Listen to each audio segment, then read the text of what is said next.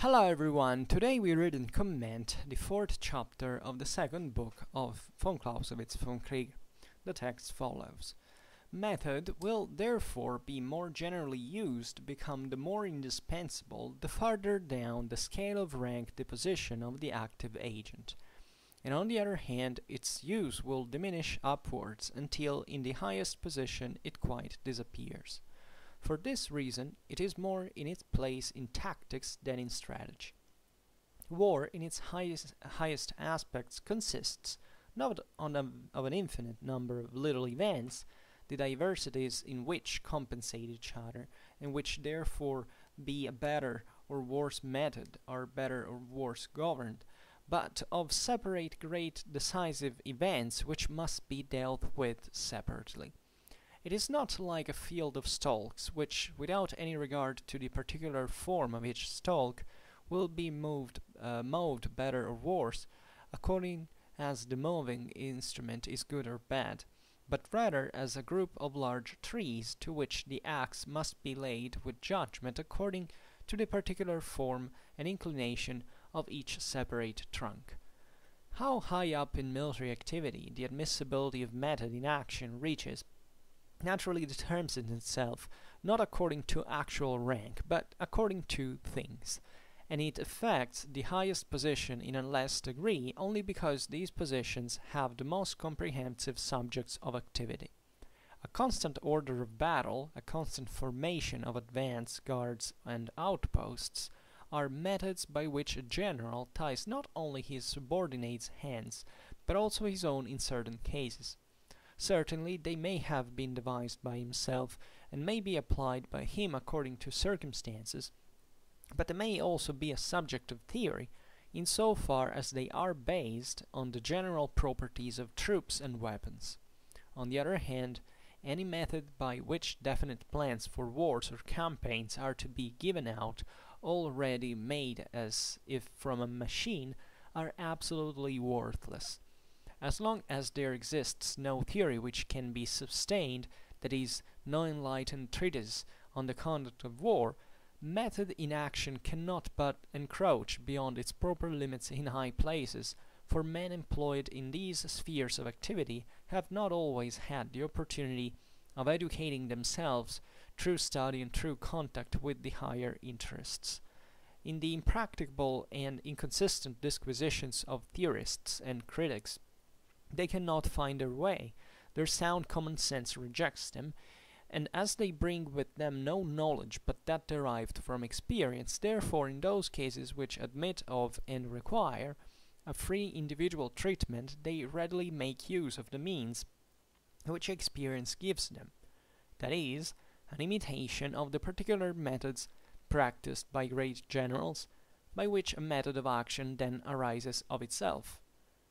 If we see Frederick the Great's generals always making their appearance in the so-called oblique order of battle, the generals of the French Revolution always using turning movements with a long extended line of battle, and Bonaparte's lieutenants rushing to the attack with the bloody energy of concentrated masses, and we recognize in the recurrence of the mode of proceeding evidently an adopted method, and see therefore that method of action can reach up to regions bordering on the highest. Should an, impro uh, an, improved theory facilitate the study of the conduct of war, form the mind and judgment of men who are rising to the highest commands, then also method in action will no longer reach so far, and so much of it as, uh, as is to be considered indispensable will then at least be formed from theory itself and not take place out of mere imitation. However preeminently a great commander does things, there is always something subjective in the way he does them, and if he has a certain manner, a large share of his individuality is contained in it which does not always accord with the individuality of the person who copies his manner. At the same time, it would be neither possible nor right to banish subjective methodicism or manner completely from the conduct of war. It is rather to be regarded as a manifestation of that influence which the general character of a war has upon its separate events, and to which satisfaction can only be done in that way if theory is not able to foresee this general character and include it in its considerations.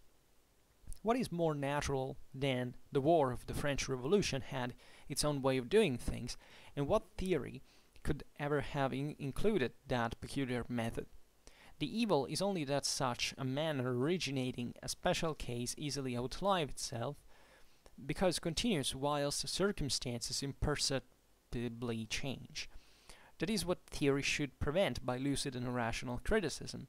When in the year 1806 the Prussian generals Prince Louis uh, at uh, Saalfeld, uh, on the Dornberg near Jena, Grawert before and uh, Rüchel behind Kappellendorf, all threw themselves into the open jaws of destruction in the oblique order of Frederick the Great, and managed to ruin Hohenlohe's army in a way that no army was ever ruined, even on the field of battle, and this was done through manner which had outlived its day, together with the most downright stupidity to which Methodicism ever led. So, today we concluded the fourth chapter that, as you understand here, is reflecting uh, finally on the um, practical utility, on also on the positive character of doctrine as a method, right? So this set of uh, laws, principles, rules, and um, regulations and smaller methods, let's say, that are designed to guide methodically the army, right, the commanders um, in you know in, in the war, uh, in the waging of war. So this is naturally very important because we have spent basically the whole Vom Krieg here observing how this mm, positive character of you know approach to war is fundamentally you know uh, a failure at, at the end of the day. We have observed how you can't objectively solve the enormously complicated system of war. There is no rule that is always valid. There is no behavior that will grant you victory, right? Yet von Clausewitz says, okay, yes, this is all true, and we have seen why it is true, right? And we can't um, do anything about it in terms of you know denying it, let's say.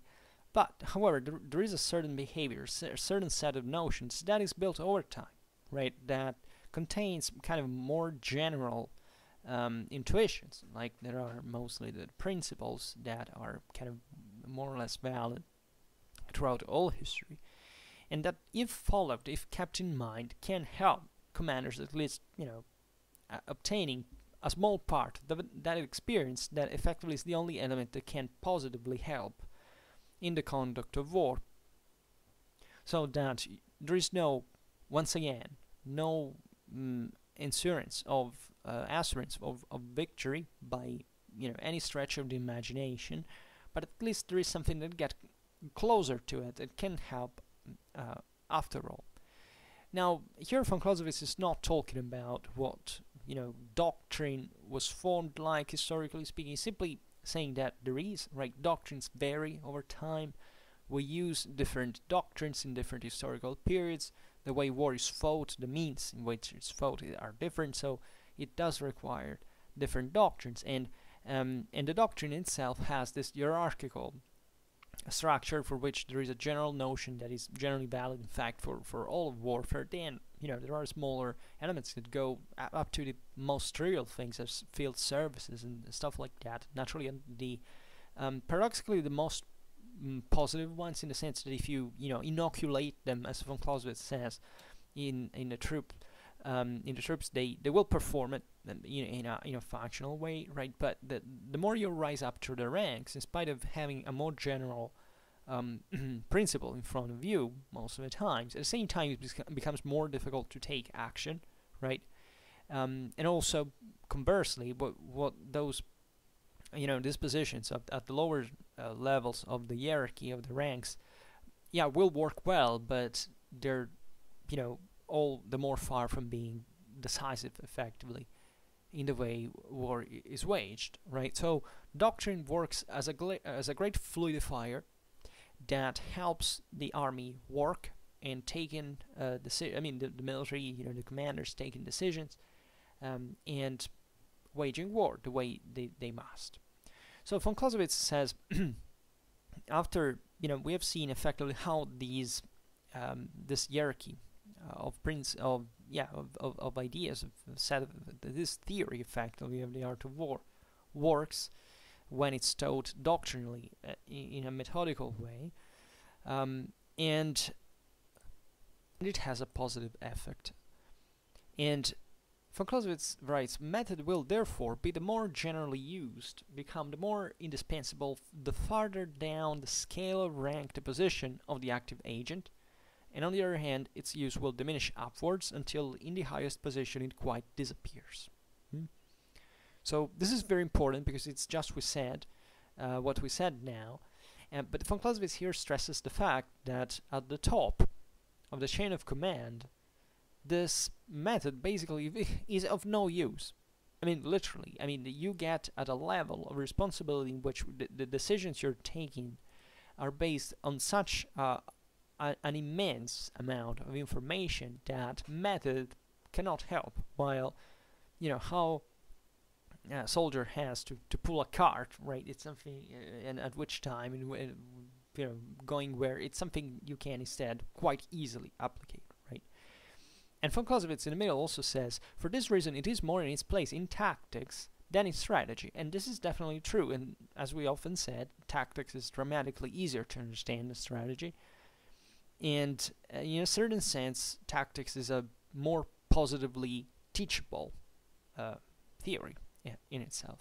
Always given that even in tactics, you you're not fully um, going to know what the hell will happen in the first place. It's just that the dispositions that you can give are more intuitively evident, right, and correctly so, while in strategy, uh, you may really miss a lot uh, of the whole picture simply on, you know, not realizing something because it's it's hidden, it's it's uh, multi-layered, it's really very very complex.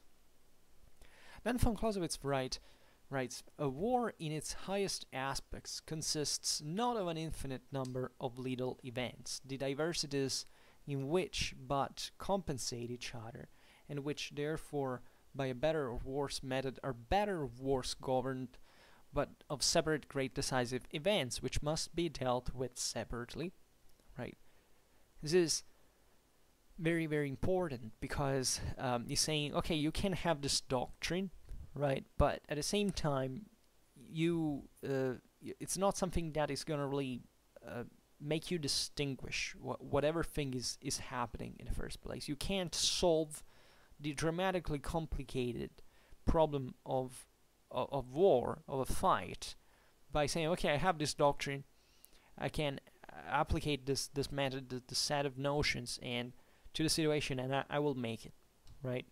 Um, also, war in this regard does not have a uniform uh, substance, right? Uh, war is very complicated also because besides we can't effectively calculate it uh, mathematically in, in, as a system, but it, however we can spot that there are certain um, even though we can't maybe outline them completely, you know, drawing their boundaries and, and their interactions, there are some kind of more important elements in it, right? Um, this great decisive events that we, in fact, in fact, theory theory the art of war concentrates more generally, and in fact that that's what principles are normally about, right? And that, however, they, you know, uh, must be applied assessing what what what reality is, which is wholly another matter, right? And therefore, this big, you know, problems that happen in war can't be solved just by a, a uniform formula. They have to be solved one by one uh, given the uh, the relative importance that and absolute in it eventually, even if you can't draw it, uh, observe it precisely, they, they actually have. And in fact, here von Clausewitz makes this beautiful me metaphor. He says, it is not like a field of stalks which, without any regard to the particular form of each stalk, will be moved better, uh, moved mowed, better or worse, according as the mowing instrument is good or bad, but rather as a group of large trees to which the axe must be laid with judgment according to the particular form and inclination of each separate trunk. Right? This is a very good example because it's exactly the point. When you're mowing um, great field, you're you're just passing the I don't know what's the the name in um, in English, but I mean the let me check the sickle, yeah, and and that will um, you know which you can see as this standard instrument that you know cuts down everything without making you thinking too much of how you have to employ it. So also because you're effectively dealing with all um, more or less similar um, ears, basically. Um, but it, it, it's like when you go in the forest and you have to start chopping down large trees, right? And you have to do it for some reason, by the way, that you are there. And you have to make important choices. And these important choices commit you eventually to chop down that specific tree, for example. And and with all the consequences that derive from that, so that this this is very fitting as a metaphor because it makes you realize the uh, the problems of assessment that you have to make at the beginning in war, and also once you have um, uh, you know uh, um, judged effectively what what what's best to, to be done and and act upon it, you you are thoroughly committed to a you know a difficult task after all. That will make you probably think out uh, you know um, a second time about your uh, your choice when when it's definitely too late to to to change it. But um, that you know the more you go on probably and the more you, the closer you get to the end kind of will make you mm, understand also the importance of remaining on a certain track. This is something von Clausewitz uh, here doesn't say it, but he insists on. He says, you know, yeah, doubt is important. Doubting is important, but you know there, there's a limit to that, and especially when when you have taken one decision and you have committed your forces in that direction. Well, at that point, let's assume you're you're wrong. Okay, you you may be defeated, but even if let's assume the enemy is wrong as well and things are going uh, uh, in, in, a certain direction, the, the best at that point is keeping on that track and, and doing your best and, and not thinking too much, you know, with, with afterthoughts and so on, because that could demoralize you at the point maybe you you still don't know whether you've done the, the right choice or not, but still, you know, be, and you maybe lose the opportunity to continue, and maybe you will misassess that uh, afterwards, thinking that I don't know, convincing yourself that it was um, the right thing to do to give up, and instead it wasn't right, and that's that's fundamentally bad. So all the opinions that I mean, all what von Clausewitz is saying here is to you know to be concrete about what's the ultimate goal that you want to reach and how you want to reach it, right? Um, and also to remain consistent most of the times with your assessment because in war, like in many other um, situations in life, you are largely res responsible, being fundamentally responsible for your own actions, for your own plans and, and goals and how you achieve them. So um, you can start thinking of all the various things that can go wrong, whose fault it is when something happened, but you know, still the most important thing is you to go on. It's for you to go on and to do it in a way you you know you can gain from it. So this is really a, a deep, thorough thinking that also makes you understand that um, you know Wu sees everything uh, as a flat uh, field where you know there is really a, a, few essentials that you can easily handle in your mind and uh, that's it. Well, that that's quite simplistic your reality that eventually will make you crash against uh, major problems that you were not prepared to deal with and normally we are not, right? But um, we, we can essentially prepare for them. In a way that's still better than nothing and that sometimes even more than sometimes can can help us really to to get through that. Always given that in that that process is going to be largely determined on how you persist along the way rather than on the preparation. This is what von Clausewitz is saying.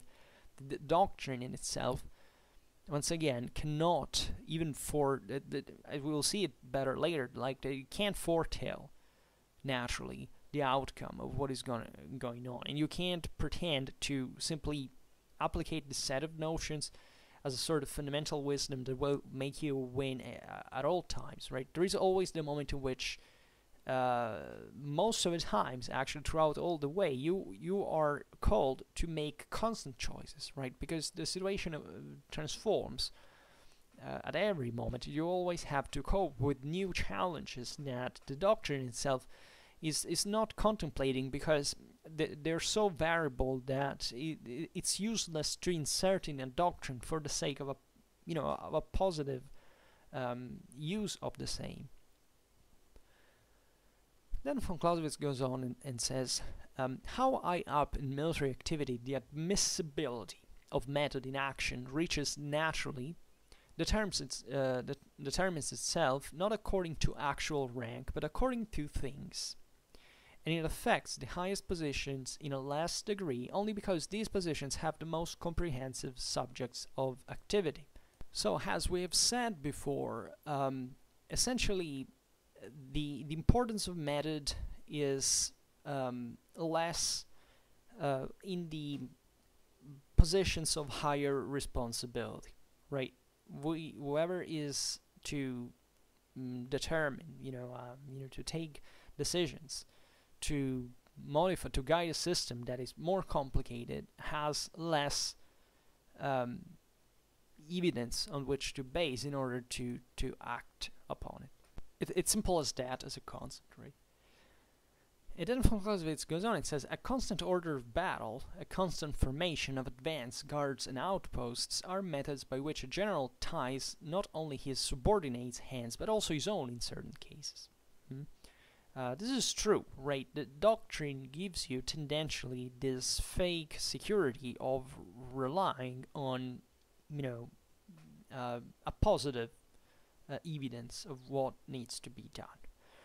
Right? This is a, a, an instinctive, a natural tendency of humans to say, okay, yeah, uh, that that we are lazy thinkers, really for real. We try to dumb everything down, right? In in the whole complexity of the world in which we live, we objectively understand very few of it, but especially we are not tendentially pushed to know more of it, right? We have an inner tension that pushes towards it, but the, the attrition that it follows is usually um, greater, and therefore we tend, you know, if we, we didn't have stim external stimulations, we would fundamentally regress, right, and die out. So naturally, we are structured in a way that we manage to balance this, but the especially from a mental point of view, the the idea that you know you can uh, effectively have a you know positive take on reality.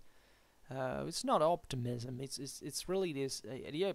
After all, how complicated would it be, right? In in our mind, what we have to do in the future seems generally, uh, you know, not not necessarily simpler, but we we don't fully expect. We we can't have means to fully predict the complexity of it. We can um, predict maybe that something is um, is going to be bad and difficult. In fact, we tend to to stay away from it because we we're lazy thinkers in that regard too. But also we tend to say, okay, well, this set of notions will, generally speaking, work. And this is the great problem I think we have um, as a society when we think of war. That it seems like everybody uh, has an opinion of it, which is 99% of the cases a disinformed opinion um, which doesn't work. And it doesn't work because of the fake um, confidence and people pretend to have about these topics, right? And it happens all the time. If you're interested in warfare and you've been on, on the internet for a while, you you know what what people are capable of. Tendentially, like to to to give the most improbable interpretations of history, of politics, of reality, just to make themselves feel you know better about it, being you know, aware, being, uh, you know, also partly in charge, right? So there, there is the sense of command that partly stems out a bit of craziness. And in fact, that's what von Clausewitz says, you know, that he attributes in, in, in the Trinity uh, a bit of, mm, you know, healthy, maybe slash unhealthy taste for gambling to the military, right? Von Clausewitz sees, rightfully so, the military as gam gamblers that are attracted by the game in itself. They know they can lose, right? It, it's always there. It can be killed. That something can go wrong. But that's what what fits, right? They, there is this part of of, of mankind that is attracted by by risk in a certain sense.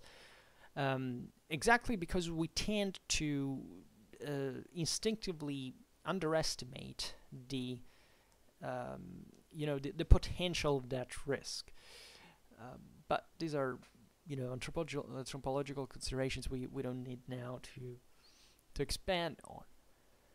Um, but here the example is, is clear, right? Uh, von Clausewitz is, has just made the example of, um, for example, of a constant formation, right? Um, that can that now will develop uh, in uh, also with historical examples, like saying, you know, there there is a habit, generally speaking, to follow what also others have done, right? This reliance on definitely on what who seems to be more authoritative, that seems to be a, have a greater understanding. That's also biological. We are structured like that. We tend to follow the, the leader, right?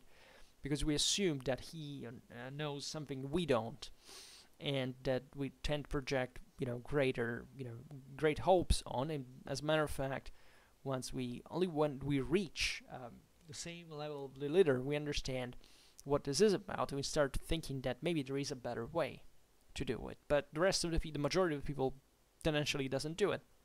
They simply say, okay, we have to follow that.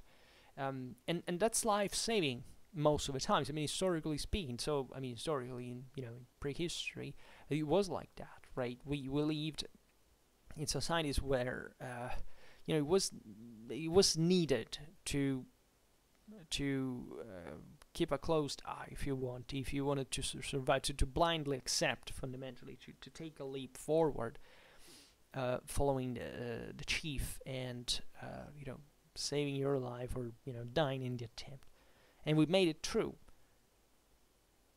Um, but this happens naturally and dangerously in certain situations where certain habits are the product of um, you know systems that are somewhat more artificial. Like von Clausewitz now as, as you have already seen makes examples from the 18th from the 19th century that they also knew pretty well since he was involved in them. And um, and in that case, uh, there are many other examples, historically speaking, of certain military traditions and doctrines and mentalities were followed right to disaster because th there was effectively a sclerotization in the um, in the faith, in the trust in in such uh, in such um, method. In fact, um, and von Clausewitz seems to be accepting in this phrase uh, the the idea that it, it, after all it's not that bad right it's it's natural that we must follow some pattern uh, in war so that we will generally rely on a sort of standard uh, set of options, right? Certain formations in the case of tactics, if you look at it, but I mean also in strategy, um, and that are preventive, that are better than nothing. They're sort of standard packed that eventually you can modify along the way, right? And but it, it, the philosophical take on this is very interesting because he highlights the fact that still you're basically limiting yourself in the moment in which you opt for this. Like you don't calculate every time whether you know that uh, standard uh, pack is you know necessarily fitting for this moment. You're just maybe more used to to do that. You, you're quick, more quick, uh, you know, more quick at deploying like that, for example. That can be an advantage as well, right? D do not uh, underestimate even variables like time, because literally this is an enormous system you, you we can't sort out. And paradoxically, even if maybe that formation at the moment is not the best one, but at least it gives you other advantages that are less intuitive that, however, there, just like deployability, right? For example, certain tactical deployments, historically speaking, were also due partly to the deployability on the field, right? Not just in an abstract picture in which you just had to meet an enemy on, on a given ground without know before, right?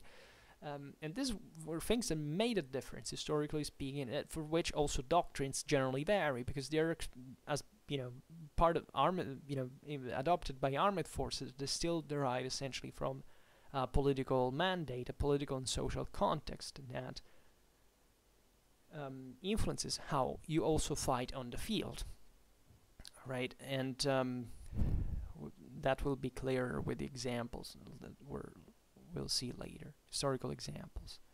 Um, uh, there is an, a further consequence of this doctrinal approach that is um, how many of your subordinates will imitate you, right? Th- this is important because it, it makes you understand also how commanders have a, a, a deeper responsibility by themselves. They they they are the ones who actually know what they're doing better than their subordinates most of the times, um, and therefore they they probably can't see this how their subordinates also get tricked by certain uh, you know by, by their own confidence towards you. While you know your shortages your failures right? Uh, it's a bit like an information. You give you know the masses a, a new to, to feed them and they will react in a certain way right? Maybe there is so much else to know they will never know about but at least maybe they're content with that. And there, there, there are pros and cons to this too. Um, then von Clausewitz goes on and, and says uh, certainly they may have um, uh, been uh, so he's talking about the subordinates. They may have been uh, devised by himself the, the commander the general and may be applied by him according to circumstances but they may also be a subject of theory um, in so far um, as they are based on the general properties of troops and weapons. No, excuse me, we were talking about the, the dispositions here, no, not on the troops. So, um, yeah, so here he, he's introducing the concept that uh, obviously, um, even through doctrine as a method, in, in reality, nobody will effectively follow that doctrine, right?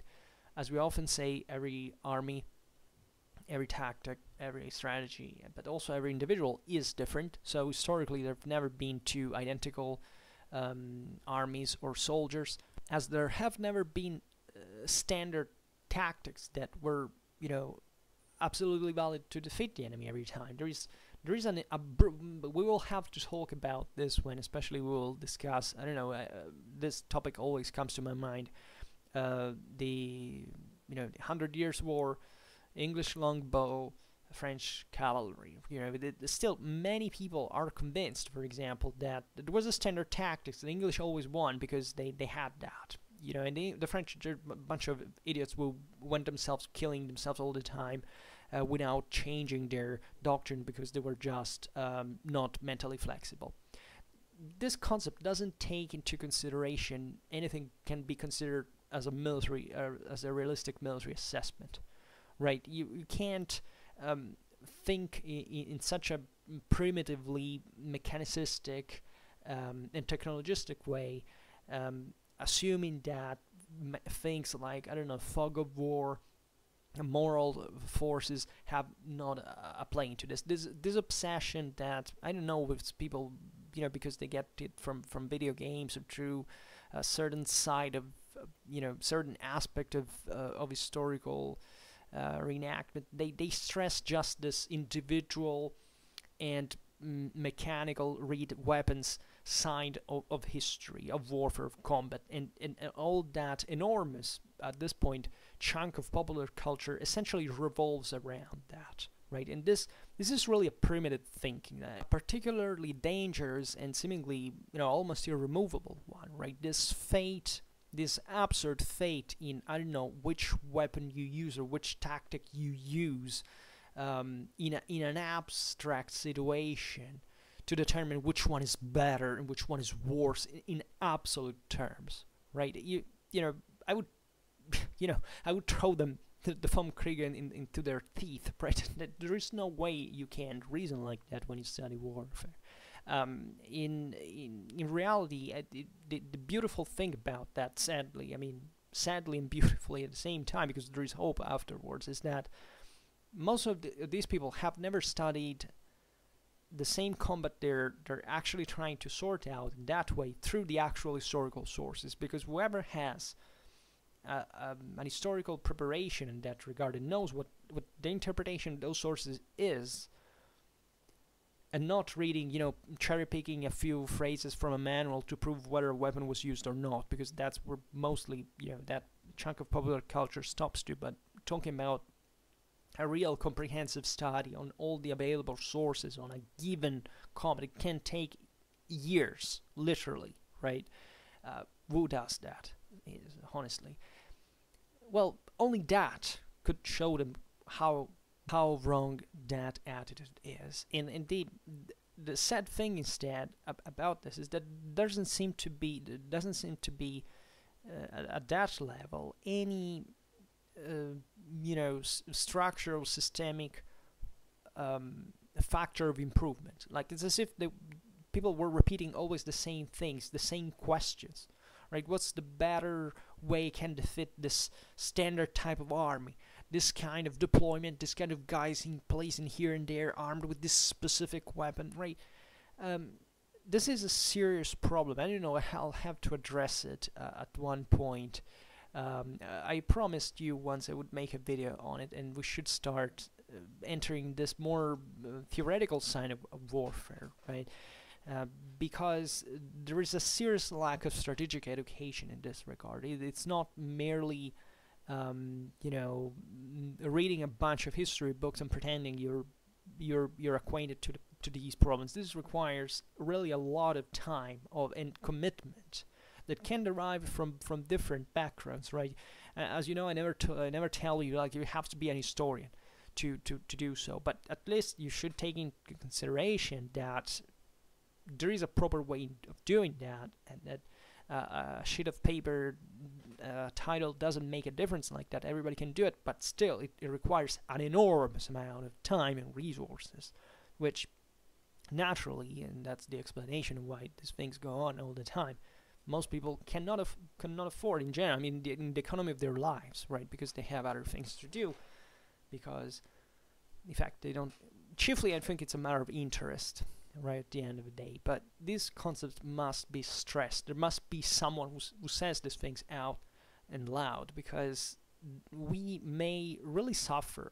Like you may think, well, this is maybe not a, one of the, our, the first problems we have. Yeah, but the, the the mindset that that that nurtures them is in, in many ways improvable through even the, the dispelling of, of such uh, thinking, uh, which is not to be underestimated. And believe me, military history uh, military history does change your life. That does change the way you think, and not in the way other subjects do, because it has a specifically um, it has a specific mm, mm, you know mm, I would say method even in here, but it's it's more than that. It's really a, a true all the things you have to pass through in order to to get to a point uh, in there, but we'll discuss another occasion. Um, and um, and then von Clausewitz go going on writes, on the other hand, any method by which definite plans for wars or campaigns are to be given out all ready-made, as if from a machine, are absolutely worthless. Thanks for Clausewitz. That's exactly was what I was trying to actually explain through you because you taught me partly this. So uh, greatly this, I would say better.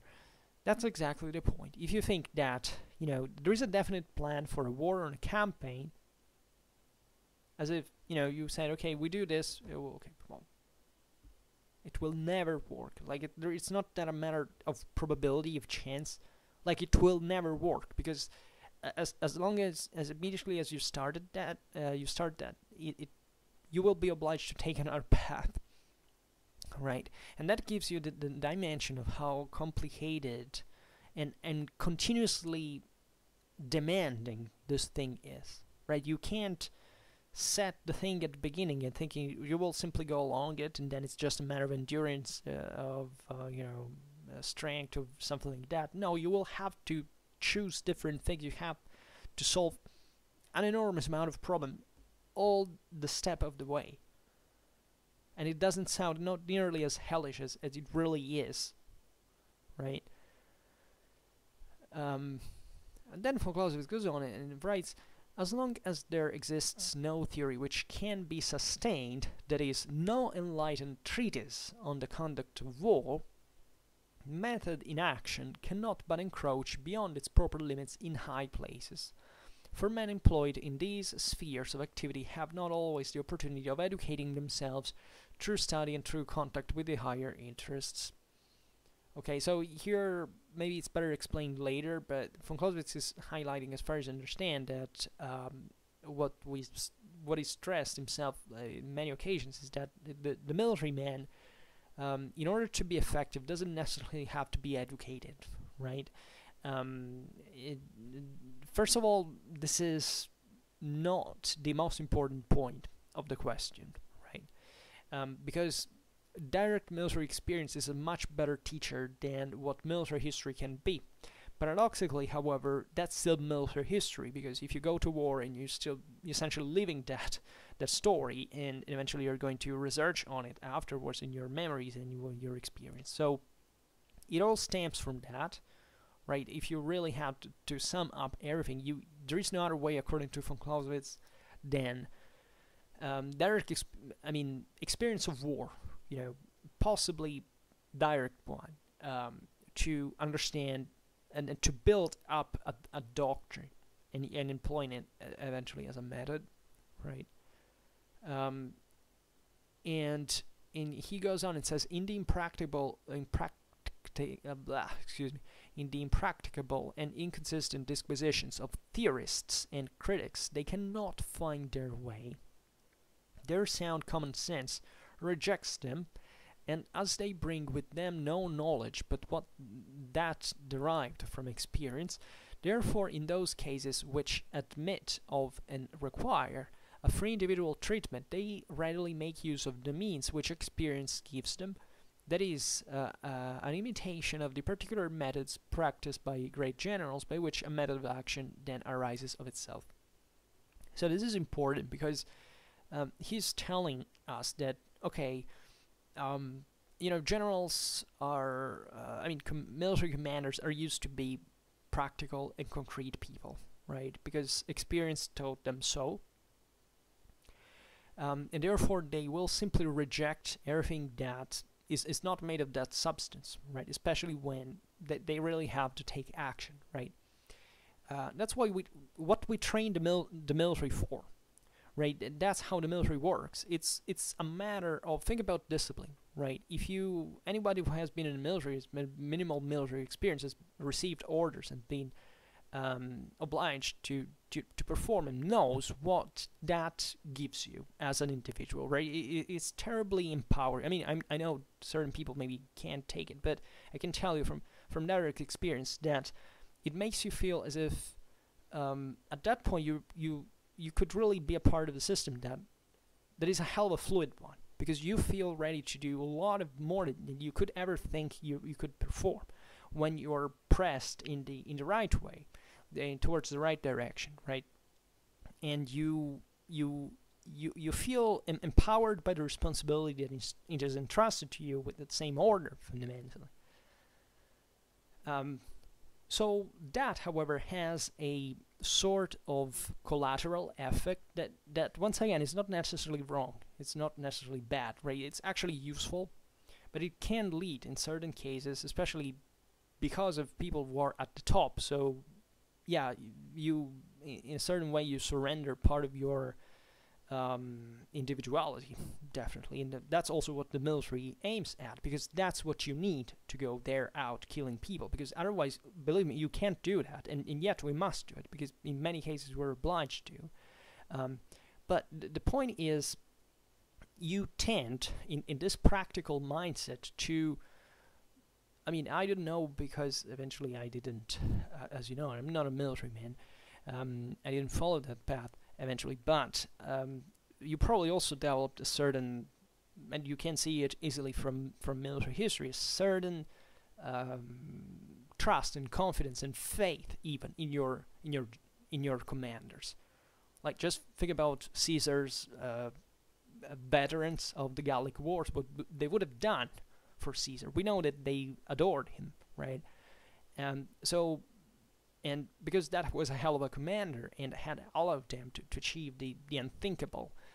Um, so that wakes, but there is once again this collateral effect that, albeit good for discipline at that point and morale, um, could make you essentially uh, forget in part the um, you know that that that amount of uh, autonomy that is required actually to every military man. This is very stressed by von Clausewitz. It was also, in fact, at the base of the Prussian military doctrine um, that allowed, you know, the, the victory in 1870, um, and also partly, you know, the German doctrine, World War the First, World War the Second. I mean, this uh, autonomy that officers must have, generally speaking. You can't simply, in fact, take uh, that doctrine and you know follow it and wait formally everything every message every you know you, you must take action at one point by yourself. So a problem here is that also you tend to imitate your general in the uh, in, that um, in that situation as well. I mean if a general is particularly famous for performing one tactics and now von Clausewitz will make some examples well theory in prac I mean theory is in the sense that uh, history shows us that the the subordinates uh, will tend to imitate that uh, that disposition, even though maybe that's not the best one to imitate, and and that can be crippling.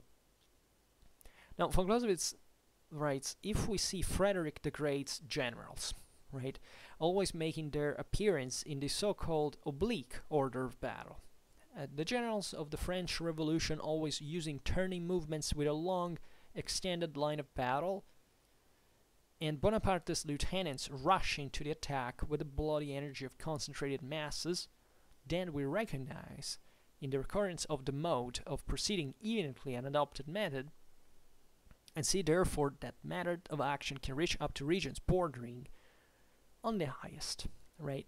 So he's actually complementing here those generals in those specific times, because objectively both. I mean, uh, I mean, all of these examples. I mean, uh, uh, the Great's army, the French Revolutionary armies, uh, and Napoleon's armies were, you know, functioning pretty damned well for for the for the time standards. They they performed.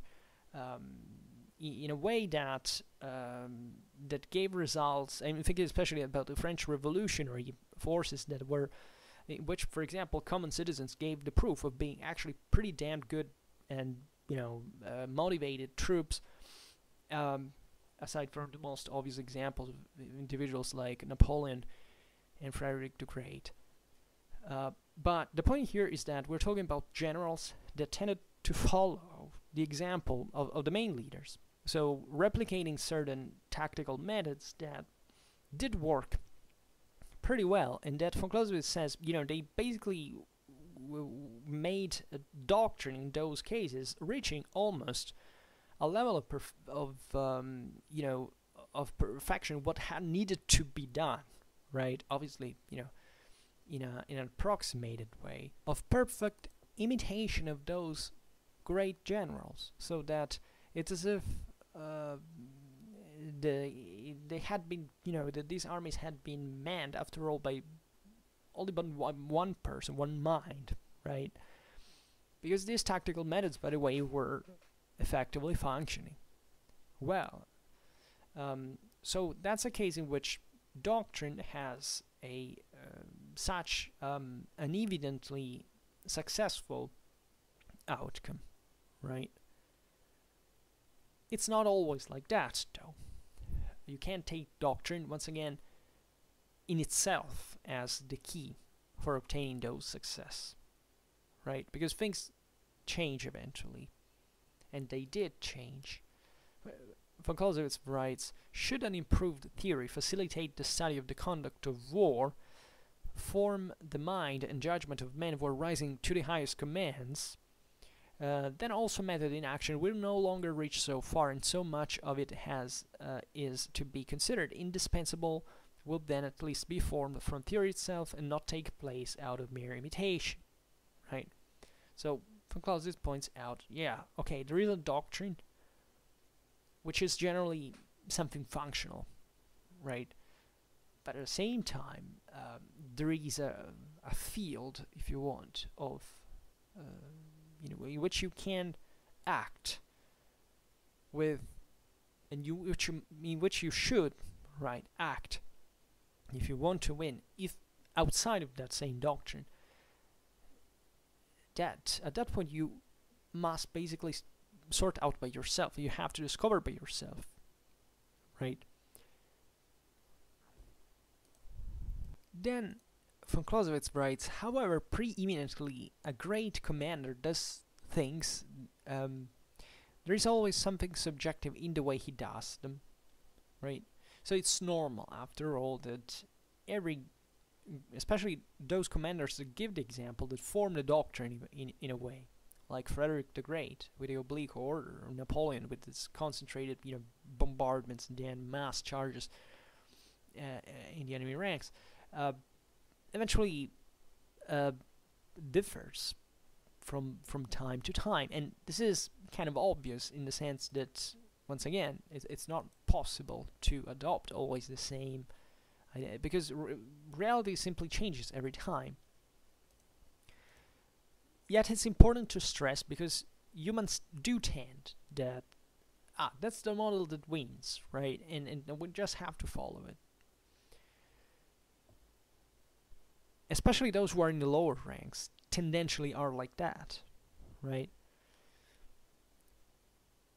And uh, and then von Clausewitz goes on and says, and if he has the the great commander a certain manner, a large share of his individuality is contained in it, which does not always accord with the individuality of the person who copies his manner. Right? At the same time, it would neither be possible nor right to banish subjective methodicism or manner completely from the conduct of war. It is rather to be regarded as a manifestation of that influence which the general character of war has upon its separate events and to which satisfaction can only be done in that way if theory is not able to foresee this general character and include it in uh, it, its considerations. So, obviously, not only things are always going to differ.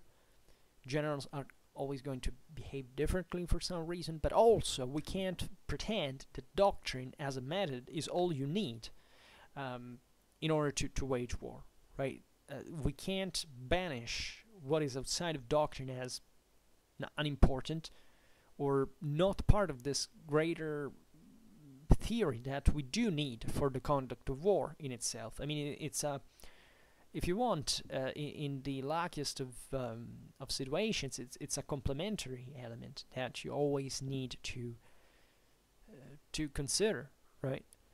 Forcefully at every step. Um, and von Clausewitz then writes, "What is more natural than that the war of the French Revolution had its own way of doing things, and what theory could ever have included that peculiar method?" Right here it's, it's an important idea because it, it also shows you that these doctrines are specific of a given context that is not strictly military. You can't understand the tactics of the French Revolution if you don't study French politics or society of that time. Who were the people who went to fight there? How trained they were? What they were motivated by? Right?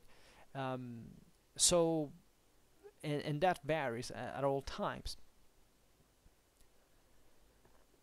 So it's important because it, it gives you context and perspective. It makes you realize that um, there is no symmetry in war, as we have always stated. There is nothing like a symmetrical warfare in reality, as always. You can approximate on that, saying, okay, where th there was kind of more similar fighting in certain ways, okay, but war, by definition, is asymmetrical that is not von Clausewitz or saying that, it, but it's the second principle of thermodynamics, right? It, it, it it's impossible to do otherwise. Um, then von Clausewitz writes, this is what theory should prevent by lucid and rational criticism. So that is, if you want, the probably this, this realization, I mean, the, the single most important element for the same application of doctrine as a method. Because doctrine doesn't mean that you have to shut your brain and simply apply that. Doctrine is just a help. Let's remember that all this, these last chapters are about the theory of, of, of the art of war, right? And they are that is just what you have to have next to you while you fight, but you don't have to stay reading it all the time. Not even for the major parts. It's just one thing you have to go back to every once in a while to clarify your mind in order to take action based on your mind and, and of the uh, of the current situation that is wildly different and is not written in that manual.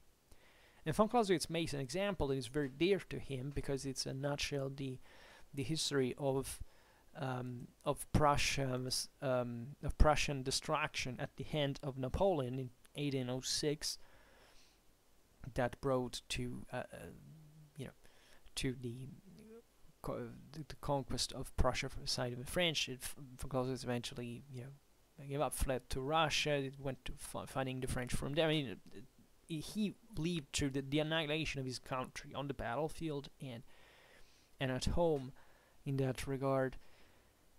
And in fact, he uh, writes um, this.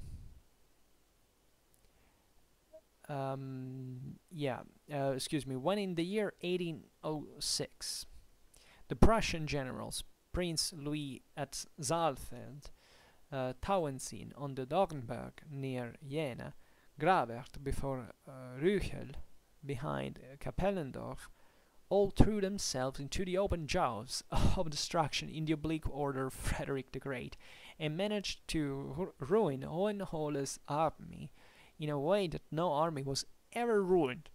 Right? He is very, very uh, tranchant in this uh, um, statement. Even on the field of battle, and all this, all this was done through manner which had outlived its day, together with the most downright stupidity to which Methodicism ever led. So this is a powerful uh, reminder uh, to us, but you know you, you couldn't understand for a 19th century Prussian what this meant. Um, that yeah, you can use doctrine as a method, but not pretending that doctrine is even remotely close to make you win wars by simply you know applying it to to the latter and, with, and without losing. So what he says is, you know, Prussian generals in the early 19th uh, century were still thinking in the in the doctrine of the of the Seven Years' War, and they went there uh, against the Napoleonic army, and they got annihilated, right? Which is what happened effectively. And why? Because everybody was still thinking to follow Frederick the Great's tactic, as if that could be validated every time, right, in that moment. Uh, and and and so we've seen how it's gone. So that is the uh, this is just an historical example, but you understand that from from also from a just a theoretical point of view, there can't be uh, simply a, a formula they, that that you can use to describe reality and to interfere with it uh, to obtain certain results um, as if you know there was no no other problem to worry about. And this is what life constantly puts us in front of in the sense that uh, what are we thinking? I mean when we we're thinking of the future things we have to do. We don't think we we have the answer for everything. We stress actually the fact that we, we don't know how things can go. And it is true. We don't know. There's no way to know. And that's why we generally rely on certain on something that we must use to even start right but eventually most of the of the work is going to be done along the way right and we don't know how it's going to go anyway uh, i know it, it sounds uh, somewhat uh, you know depressing, especially in these times. But I, I think it's it's that's the point. I mean, you can't. Uh, you, you should be happy paradoxically that we are aware that we have a free will that that we are able to to realize this limit because it, it's true that limit that we can do a lot right? And um, and that's what what you have to to rely day after day. It's it's, it's this realization of not knowing that we can know the most, right? We can achieve the better results. So, uh, I think uh, this was the end, of course, of of uh, the fourth chapter. We'll pass the next one is criticism. Um, so we stop it here and for now just hope that you enjoyed this video. If you did please share it otherwise leave a like or subscribe to my channel if you're interested in my upcoming contents. And for now I thank you heartily for listening to me. I wish you a nice time and see you next time. Bye